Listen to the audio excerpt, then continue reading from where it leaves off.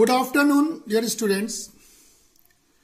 So, as per timetable, uh, for the MA semester third, who has opted uh, population studies as a specialized paper, uh, among the two papers, the first paper, I have covered two units in the first paper. And now today in the same first paper, the third unit entitled with fertility and nuptiality topic. So students, today I will deal with the concept of fertility and nuptiality. And this is two different concepts but linked with each other. So I will begin with nuptiality and then in the second class tomorrow I will deal with fertility. Okay. So let's start the concept of fertility and nuptiality. So students, before dealing with the terminology nuptiality, uh, as per uh, our understanding, as, as per the demographic events, just remember one more term that is called as family demography. And what is it? What is family demography? That is qualities of and and concern and connections between family or households members. So this we can say as a family demography. That means qualities of and connections between family or households members.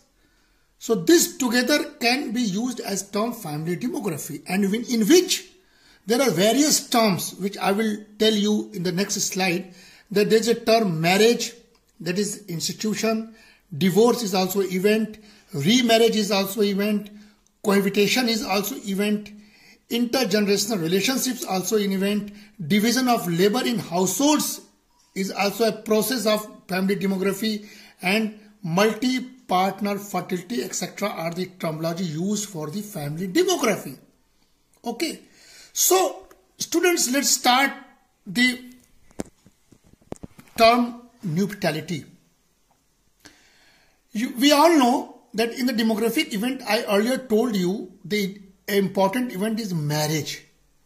And that marriage, when we measure it in the annual term basis, that is called as nuptiality. Just like fertility, which in which we measure the birth rate of a particular country, that is called fertility. Okay. So what is nuptiality? The frequency and characteristics of marriage in a population. Very simple and very clear that the frequency and characteristics of marriage in a population is called as nuptiality. विवाह के दर को किसी भी जनसंख्या में विवाह के दर frequency को और उसके चरित्र को जब हम मेजर करते हैं तो उसको हम लोग वैवाहिक दर कहते हैं okay Unlike fertility, mortality and migration, research on nuptiality or we can say that marriage rate and characteristics has been limited because there are the term crude marriage rate. I will tell you later on all the marriage rate but here we can understand about the crude marriage rate that is the ratio of the number of marriages during the year to the average population in that year. A variety of marriage rates are used to measure nuptiality and first marriage rate and remarriage rate is also a terminology within that. Okay, so in the first slide, I told you as per your syllabus the meaning of nuptiality. Okay, and then there are different concepts related to that. We should also understand about those concepts because in many times two marks question consist of this type of terminologies. So first is polygamy. Polygamy is a marriage pattern in which one man marry, marries more than one woman at a time.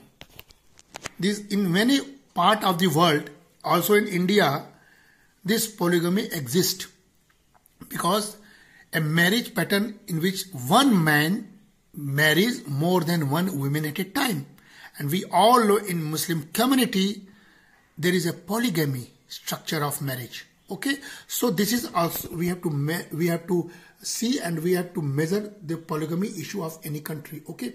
And second is monogamy. Actually practiced in our Hindu mythology. The practice of having only one spouse at one time.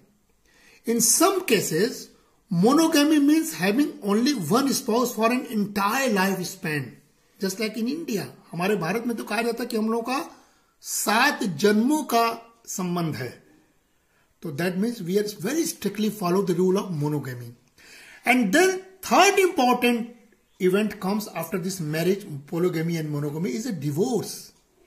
You all know polygamy is practiced by uh, women, uh, uh, Muslim community and also divorce is a very frequently followed by this community.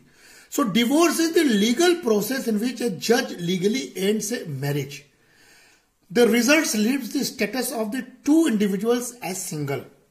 And a divorce does not declare a marriage null and void as in an annulment, but instead states that the marriage was unsuccessful for any one variety of reason and declares the two individuals as single. So this is also very important terminology when we are talking about the nuptiality and this is used in developed countries and in developed societies. Divorce is a uh, normal phenomena okay? And in india also nowadays in urban society divorce is now is a nominal phenomena okay so the next is a cohabitation this terminology is also practiced in many part of the globe especially in the uh, era of modernization. And for this study cohabitation means persons who while not married have lived as married person for a period of not less than 5 years. We all uh, nowadays hearing about the living partnership that is a part of cohabitation pair lives together don't marry but live together long uh, time till long time. And if that is uh, more than five years uh, uh that is less than five years that is called as cohabitation okay?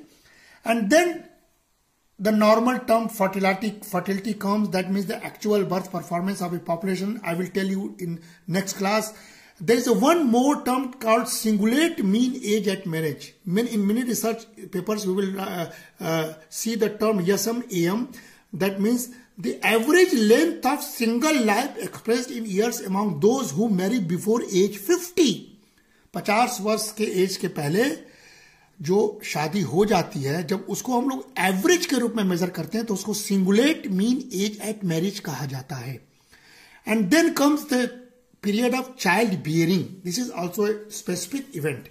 The act or process of carrying and giving birth to a child.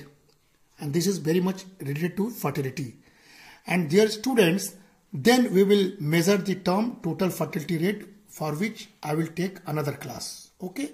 Here I will explain you in the first class only the term nuptiality and now I I'm here to explain the terminology of nuptiality. So students,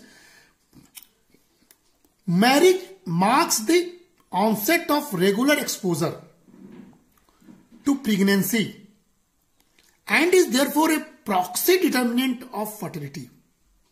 Its demographic, economic, socio-cultural and health implications set the stage of reproductive activities such as legitimizing entry into sexual activities and childbirth.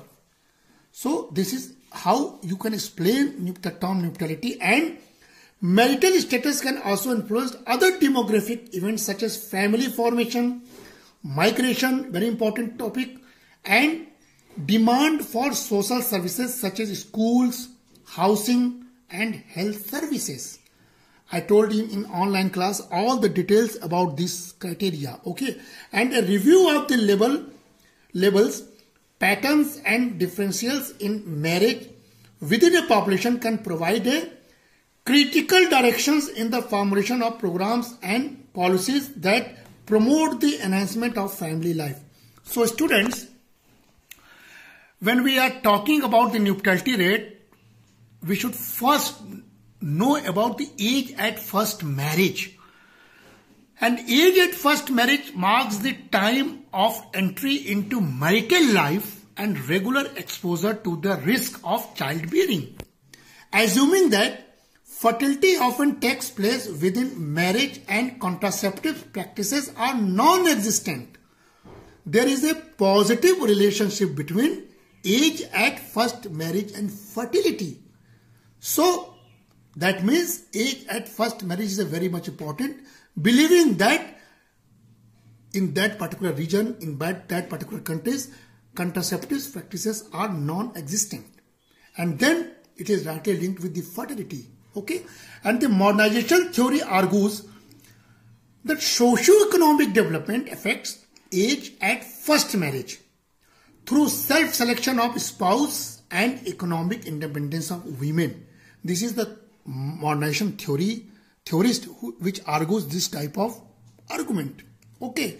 And, and very frequently students, let us talk about the various measures. Very simple. You have to learn, you have to remember this measurement when, uh, when you have to deal with any uh, table and question asked to calculate the marriage or divorce rate, then first there is a crude marriage rate or crude divorce rate. I, I am telling it together because the same formula apply in marriage and same formula apply in divorce. Only terminology M and D will be changed. So CMR is M by P into 1000. That is total marriage in total population into 1000 is called it CMR and if you will change the term M as D then this is CDR is equal to D by P into 1000.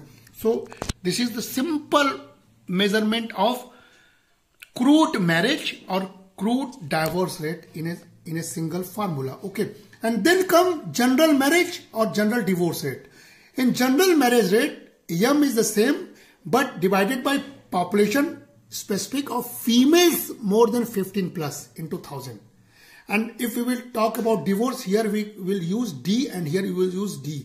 GDR is equal to D by P P, F 15 plus 1000. So this is simple general marriage or general divorce rate followed by this uh, formula in which the population portion is defined with the female 15 plus population. And next is refined divorce or marriage rate. Refined divorce or marriage means D by P F by marriage. Total marriage of a female amongst the population. That is called as refined divorce and when we put here M that is called